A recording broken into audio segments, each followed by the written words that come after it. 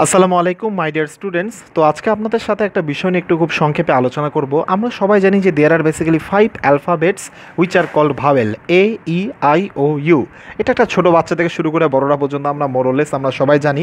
আজকে আমরা ইউ নিয়ে কিছু আলোচনা করব।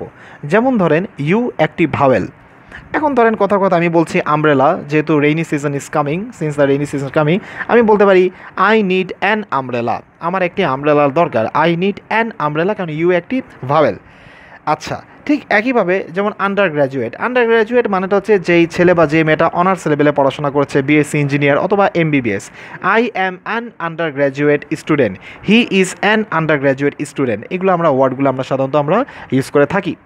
আচ্ছা এখানে আরেকটা বিষয় আমি এক্সাম্পলটা আমি নিয়েছি আলট্রাসোনিক আলট্রাসোনিক মানেটা হচ্ছে যে বেসিক্যালি এটা একটা সিস্টেম এটা মেডিকেলে যারা পড়ে তারা এটা জানবে।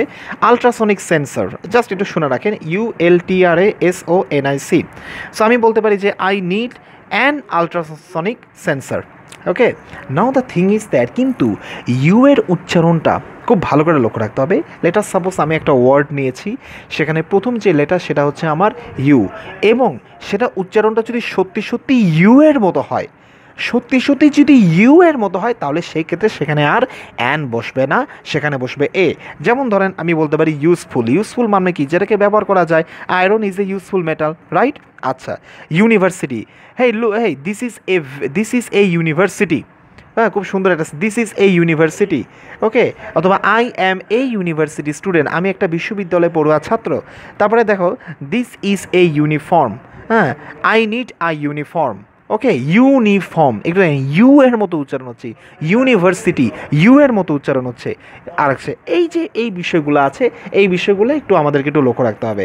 তাহলে আমরা ডিয়ার অডিয়েন্স তাহলে আমরা ওভারঅল যেটা বলতে পারি, সাধারণত কোনো একটা ওয়ার্ডের প্রথম লেটারটা যদি ইউ হয়, অবশ্যই অবশ্যই উইদাউট এনি ডাউট আমরা সেখানে অ্যান বসাবো। যেমন হতে পারে আমব্রেলা যেমন হতে পারে undergraduate an umbrella an undergraduate কিন্তু যদি এটার উচ্চারণটা ইউ এর মতো হয়, তাহলে সেই ক্ষেত্রে সেখানে অ্যান বসবে না, সেখানে আমাদের এ বসবে। ওকে যেমন হতে পারে ইউজফুল তারপরে ইউনিভার্সিটি ইউনিক তারপরে হতে পারে ইউনিফর্ম এ ইউনিফর্ম ইউ এর মতো উচ্চারণ হলে এ বসবে। এই বিষয়টা একটু লক্ষ্য রাখতে হবে। Thank you so much